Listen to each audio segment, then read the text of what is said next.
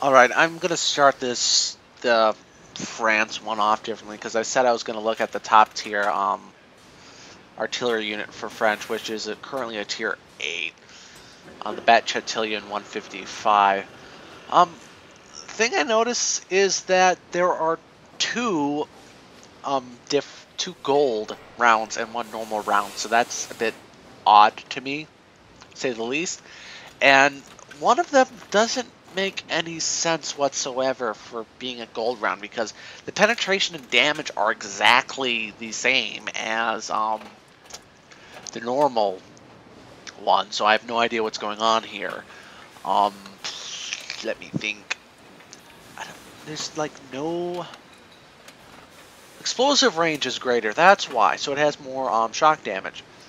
And this is a heat round, so technically it's for direct fire if you want to do that. Eh, not a good idea ever. Um, few ones can specialize in the Hummel, the T-57, and a few other ones, but, you know, um, the here, expensive rounds. No, it's not that bad. A thousand credits per round isn't that bad. Um, I could not fit on, a, uh, gun rammer on this one. So I had to instead mount an enhanced gun laying drive, a camouflage net, and improved ventilation. Should be able to help me a little bit, at least with this artillery unit. So that's it. And I don't think there's anything. Strong coffee? No, I don't really want, want strong coffee. Okay. This shouldn't take that long, theoretically, of course thing I've noticed so far with being in battle with these things is that they have very good damage potential. Um, reload seems to be fast. Either that or they got like a two round clip that I'm not seeing.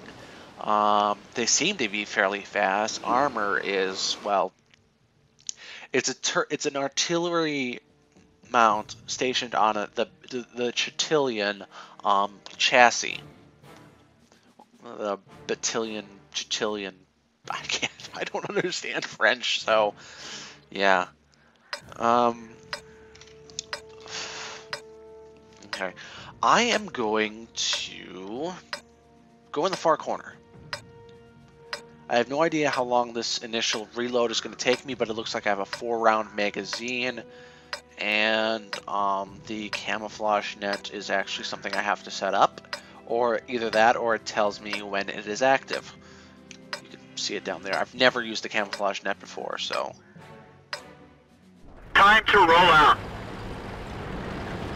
What counts as stationary, though? I do have a 360 degree turret, so that'll help. I do have everything tops, so that helps as well. Looks like everyone got the same idea as me, so I'm going to be over here by myself, alone, away from these people. Turret rotation speed, not that great.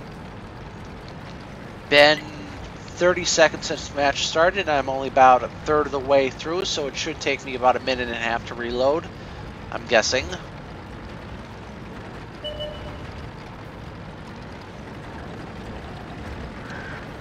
This thing seems fast, yeah. Enhanced gun laying drive, activate.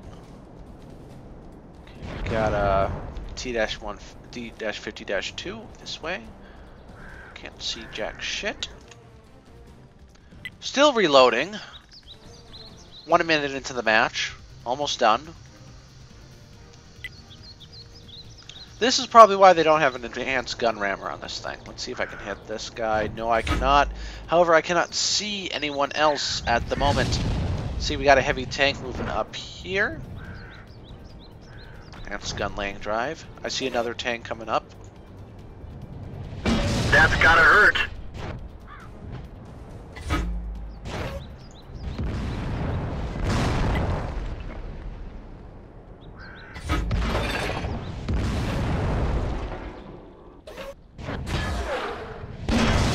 Penetration.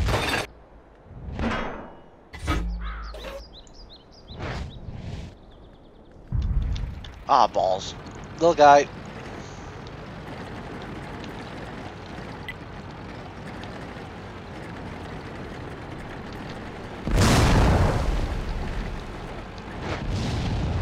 The Bat Chatilian, because of the four-round magazine, definitely seems like everyone wants it.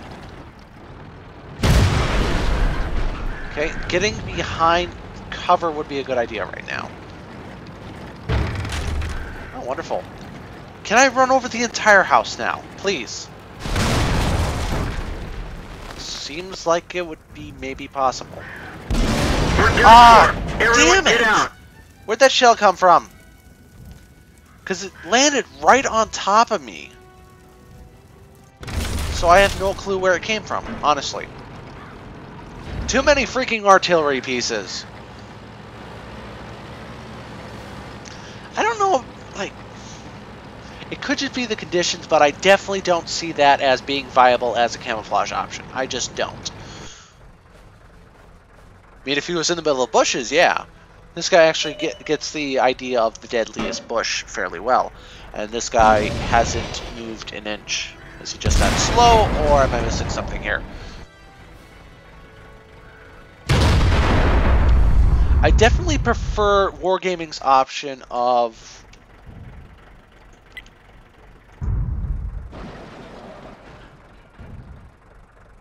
No one's defending that flank, people. Okay, let's see if I can get Overwatch on one of these. Well, this guy's in a good position, I guess. Oh, dang it, missed. Who is this guy? Bat Chat, 25 ton. Bat Chat!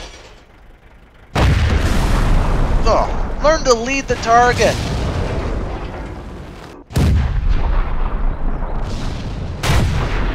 Jagdtiger behind you!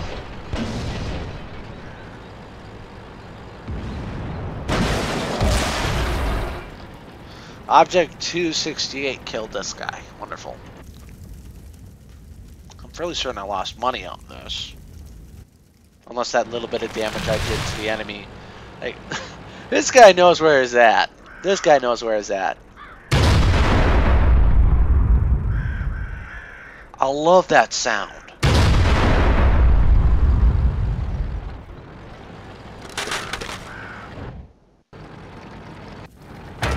I still don't like this new selection method because it just seems all over the fucking place. I mean, before it was still all over the freaking place, but honestly, I couldn't tell who I was going to select next. Oh, nice! Targets! Two of them.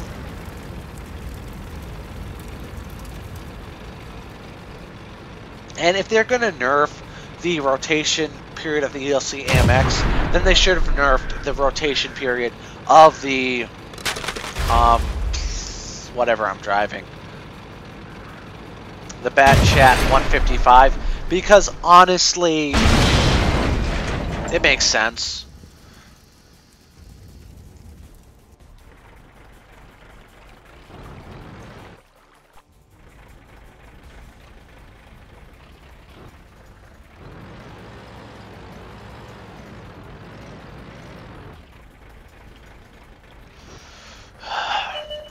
Because they did nerf already the um, GW Panther in the in the German line because it did have a full 360 degree turret rotation, and now for some reason it doesn't.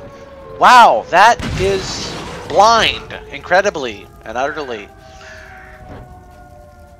Render. Oh, he was dead. That's why it wouldn't render. Makes sense. Uh, let's see how much I lost. Crap for experience, crap for damage done. At least I'm not the lowest on my team. And I got two hits, and I got about 4,500 damage out of two of those hits. And honestly, I did not do that much damage. I only did about 600 damage. So the, the credit multiplier on this, if you're in a good match, you'll make a good amount of credits. Uh, would have paid for itself if I just had died for some freaking reason. Honestly, I have no idea how he could have hit me while I was behind that. I mean, the shell landed right on top of me. I should have moved faster. My fault. I know. Do I like this thing? Uh, it's an alternative, I guess. But the thing is, like, right now, the entire French line just seems so damn flimsy. There's no armor on anything at all, and they expect us to drive these things. Honestly, I don't want to try to go for the Bat Chat at the moment because really it hasn't improved in any way, shape, or form since it was a tier 9. They just moved it up a tier and gave it a bit more health, which, in all honesty, doesn't work that good for this kind of shit. So the last match in this small series of tier 10s would be the AMX 50B. I've displayed my discomfort at displaying this tank before, but all in all honesty, I have to due to professional courtesy. So, this has been Demonocolips. Thank you for watching.